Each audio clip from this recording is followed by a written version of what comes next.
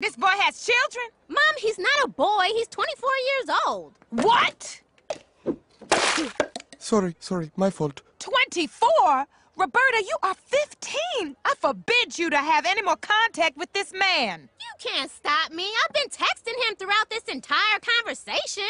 Give me your phone right now. Ah! Give it Do to me. You are grounded, me. Roberta. You are double secret grounded. I will elder Go abuse on. you. Stick to me. Now, my final thought.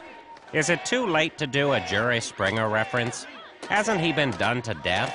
And why the hell was he ever famous to begin with? It's because of you people. You're all trash. We'll be right back.